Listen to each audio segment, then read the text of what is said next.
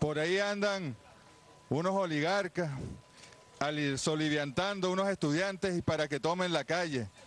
porque no tienen la capacidad real de convencer al pueblo de Venezuela de una propuesta, de un programa alternativo, mientras que nosotros tenemos nuestro programa de la patria, tenemos nuestra constitución de la República Bolivariana de Venezuela, tenemos un liderazgo claro, un partido importante como el Partido Socialista, el gran polo patriótico Simón Bolívar, y tenemos a un pueblo, ahí está el pueblo, allá abajo nos están esperando también en la